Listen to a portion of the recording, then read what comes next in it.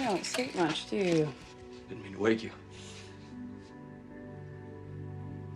I didn't. I wouldn't. No, no, it's fine. Um, I should have gotten rid of these. You're not the addict. It's not your problem. But I can make it easier for you. It doesn't get any easier. It just.